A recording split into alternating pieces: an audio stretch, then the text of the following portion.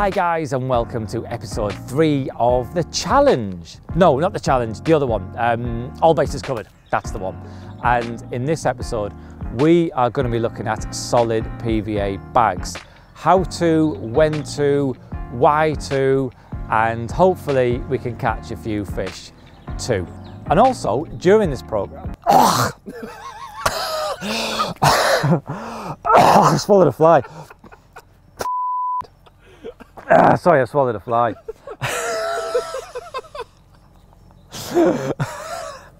also during this program, we are going to be giving away a new Fox Halo Power Pack. So stay tuned to see how you can win one of those. But right now, Brad's going to play the intro while I get some rods in the water.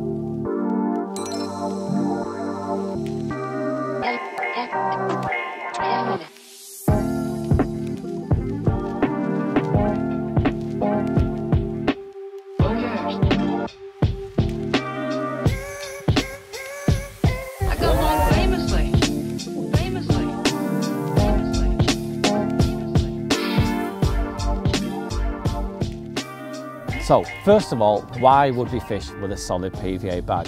Well, for me, the number one advantage of fishing a solid bag over not fishing a bag is it offers a superb way of concealing the rig and lead arrangement, making it absolutely brilliant for fooling wary rig shy carp.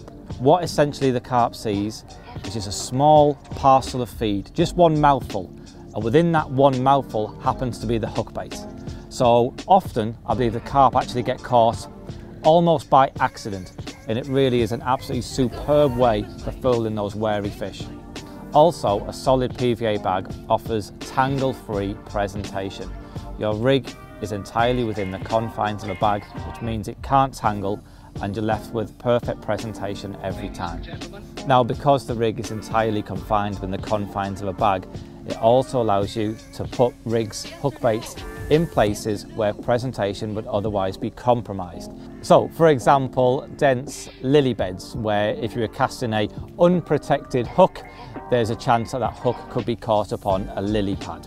Um, also, where there's floating weed or any other type of, of debris on the surface for that matter, again, there's a risk that that hook point could become uh, impaled on something, which would obviously affect the, the presentation, whereas a solid PVA bag can crash through all that with no problem at all. Another advantage of using solid PVA bags is they provide lots of attraction in a small confined area. So this makes it a good tactic when the carp aren't feeding with a great deal of conviction because you can provide lots of attraction without actually needing to introduce any background feed. So with all that being said, let's take a look at what exactly you need to tie up a solid PVA bag. So here I have my PVA bag bucket and in here I have everything I need to tie a complete PVA bag. In the top of the bucket I have one of the bucket inserts. Now it's not an essential item of kit but it allows me to keep all my bits and pieces all organised and it means I've got all my PVA bag equipment in one place. Um, here I have one of the Rapide PVA bag systems.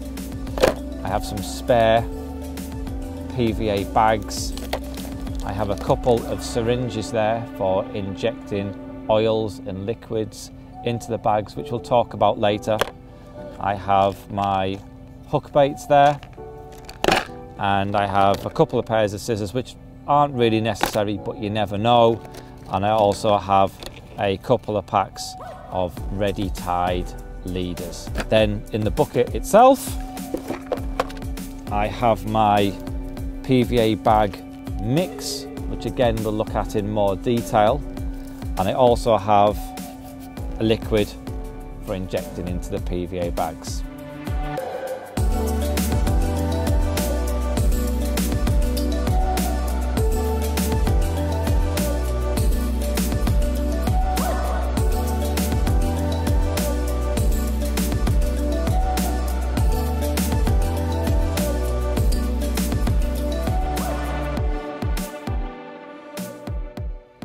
So the first thing we need to do before tying the bag is to dry off the lead and the rig, all the rig components, remove any moisture so that it doesn't melt the PVA. And the easiest way to do this is just to simply put this in the bucket of the PVA bag mix.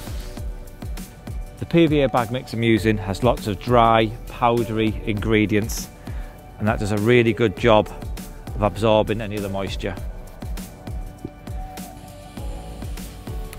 So there's the lead, rig, all the components there, fully dried out. Now it's ready to put inside a PVA bag. So now we have the Rapide PVA bag system. And the first thing we need to do is put the locking collar on the loading tool. And all we do is just squeeze the loading tool together and slide the locking collar on. We then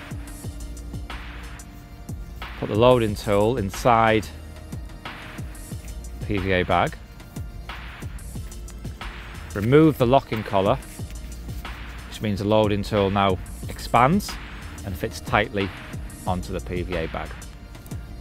And we can now use the, the scoop to scoop up a small amount of the PVA bag mix, which goes in the, the bottom of the bag. There's only less than an inch in the bottom of the bag there. Next, we put our our rig in. Hook bait in first, and, and then I use the lead to tap the hook bait and the hook into that layer of ground bait at the bottom. I then bring the lead and the hook link almost out of the bag, then trap the line in the little V on the scoop end of the, the loading tool. Next I add a small amount of the mix, another inch, inch and a half. Now that's covered the hook bait and the hook and it's going to create a bit of separation so when I lower the lead in now there's no risk of that hook getting caught up on the swivel or around the hook link um, just eliminates any tangles and now we can fill up the rest of the bag. Now I say fill up the PVA bag, I'm actually only half filling the bag here. And that's sufficient amount of bait to provide a mouthful of food for a carp. All I want is just one mouthful. I'm not looking for a fish to be feeding on a spot. I just want it so even if it's just a passing fish that's not particularly looking for a, a meal, there's just one mouthful of food there. Fish can come along, suck up one mouthful of food and in the process it also takes the hook bait. That's what I'm trying to do. So yeah, we've got a half full PVA bag. The next job is to twist the PVA bag on the loading tool, then lick around the bottom of the loader, licking the PVA down the bottom of the loader, and push the loading tool down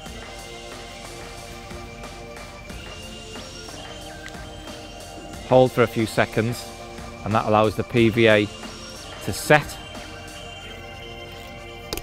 and you don't need to use any PVA tape or anything to tie off the bag. The bag is now is now tied off. Now if you wanted to you could actually cast that bag out as it is but it's not the most aerodynamic of shapes so to improve that what I do I take the, the corners of the, the bottom of the bag grab these excess PVA. And with this little tag, slick and fold the PVA down until it sets, just a couple of seconds. And repeat that process in the other corner. Again, pull up all the, all the slack, all the excess PVA, lick it, pull it tight and, and fold it down until it sticks. And now we've got a much more aerodynamic shape. And now that's ready to cast out and hopefully it's going to nick me a bite.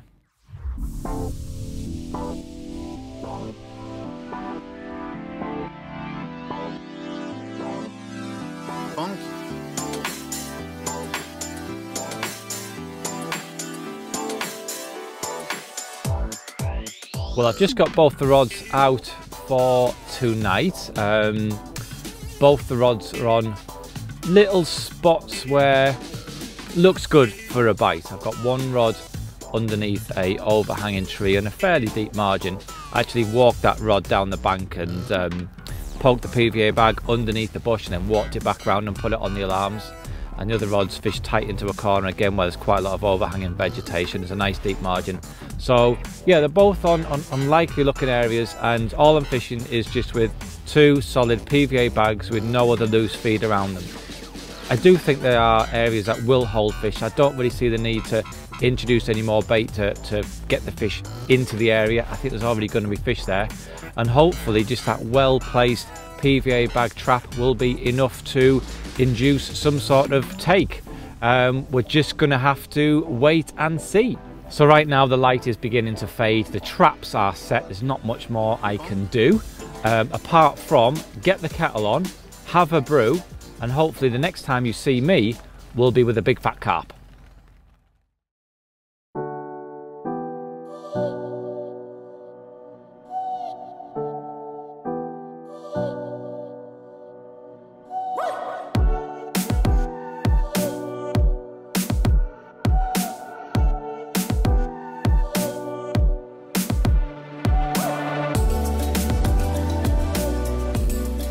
Well, I was just about to climb in my sleeping bag for the night, and just as I did so, one of the rods rattled off, and we've got this ghosty two ounces shy of 20 pound.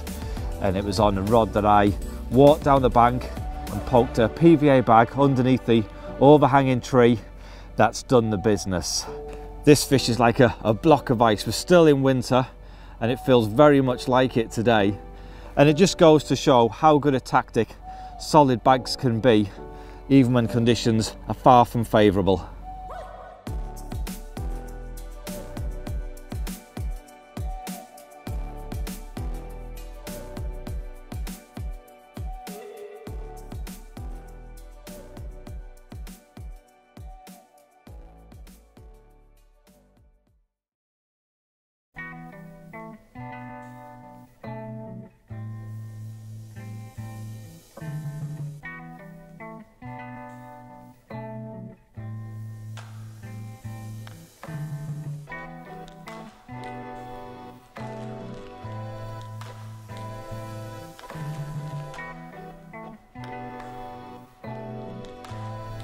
Well, good morning, everyone. The last time you saw me was just before I turned in for the night when I caught that 19 pound 14 ounce ghosty, and nothing's happened at all through the night actually. Up until five minutes ago when I landed a really nice chunky mirror. He's currently sat in the landing net in the margins. Um, it's it's the moment. It's just before six o'clock, so I'm just going to wait 15 minutes or so, wait for the light levels to get up, and then we'll take a closer look at him.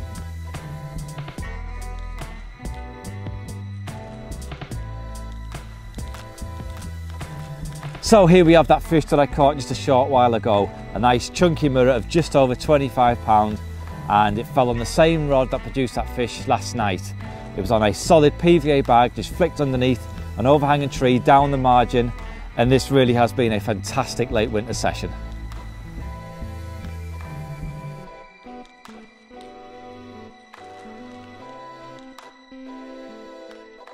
So now I'm going to take you through my solid PVA bag rig and the components I use to tie it. So the hook link comprises of 25 pound reflex camo braid and you'll notice that it's pretty short. Um, from the bend of the hook to the end of the hook link is four inches long and the reason it's short is because well firstly so that it fits neatly inside a small solid PVA bag and there isn't lots of excess braid in there. And also, because the carp isn't moving between eating mouthfuls of bait, because essentially you're just giving it that one mouthful of food, because it isn't moving away from that spot, that short hook link gives you immediate impact with the lead and really emphasises the bolt effect. So to tie the rig, I firstly tie a small loop on the end of the reflex braid. That's for the hair. I then attach my hook bait, which in this case is a small Northern Special dumbbell wafter. Secure it in place with a small boilie stop. And I then thread on a small piece of fine hook silicone onto the braid and I do this by using a splicing needle. Next I thread on the hook which is a size 5 curve short and I thread the hook point through the fine hook silicone and take care in not getting the braid caught up on the hook point itself. I then slide the hook down the rig to within 5 mil of the hook bait itself and then it's tied off by using a simple knotless knot, just four or five turns. And then over the eye of the hook, I have a small section of shrink tube, and that just helps the hook turn and to catch a hold in the carp's mouth. And the rig is finished with a quite a long loop of around one and a half inches long at the end of the braid and before I tie that loop, the rig itself is measured on my tackle box so I know that it's exactly 4 inches from the bottom of the hook to the end of the braid. The reason for having this slightly longer than normal loop on the end of the braid is it allows me to attach the rig to the swivel on the main line. Now I know a lot of people like to use um, quick change swivels which then require um, an anti-tangle sleeve or something to secure it in place. But for me, that's more clutter inside a small PVA bag. The PVA bag itself may only be a couple of inches or three inches long. And if you have an anti-tangle sleeve, it can take up room in the bag and sometimes even poke through the bottom of the bag. So in this instance here, we've done away with any anti-tangle sleeves, quick change swivels, and just gone with a long loop instead. So at the start of this program, I said you could stand a chance of winning one of the new Fox Halo Power Packs. And all you have to do to stand a chance of winning one is three very simple things. Firstly, like this video. Secondly, subscribe to my YouTube channel. In fact, the like button and the subscribe button are right next to each other. So you don't even have to turn me off. You can like and subscribe right now while I'm still talking. Okay, if you've done that, great. Right, next thing, next thing you have to do is answer this very simple question. What hook pattern do I use to tie my solid PVA bag rig? So make sure you like, subscribe, and put your answer in the comments section below and I'll announce a winner in the next episode. So we've already looked at the rig that I use for fishing solid PVA bags, but I do think it's important to look at the lead setup. Now you'll notice here I'm fishing with an inline lead, and this is by far the best lead arrangement to use in this situation. The inline lead is much neater and has a lot less clutter compared to other lead arrangements such as a lead clip for example. This means it fits perfectly inside the confines of a small PVA bag. Now there are two ways of fishing with an inline lead. Um, here I'm fishing with it semi-fixed, so the lead can slide off the rubber insert. So in the rare situation that the line was to break, the lead can slide off the rubber insert and off the main line, meaning that the fish isn't pulling a lead round with it. Now this is the setup that I would use for all of my open water fishing where there's no weed, no snags present and where you don't need to lose a lead. However, there are times when you do need that lead to discharge, such as very weedy waters where playing a fish with a lead will make things a lot more difficult. And in these situations, I opt for a drop-off inline. To fish an inline lead drop-off style, I like to use the Edges drop-off inline kit as well as the drop-off plugs and pins. Now when fishing a drop-off inline lead, the line actually runs around the outside of the lead rather than through the centre as it would in a traditional inline lead setup. This means in the event of a take, the plug actually comes out of the inline lead and because there's no line running through the centre of the lead, the lead is discharged on the take. So that's the rig and lead setups covered. Now let's take a look at the hardware I use when fishing solid PVA bags. Now because a fully loaded solid PVA bag, even a small one, may weigh in excess of five ounces, you need to make sure that the rods you're using are up to the job of casting them out into the lake. Now you don't need to go out and buy top of the range rods just to be able to fish with solid PVA bags, but they do need to be able to cast heavy weights at your desired range.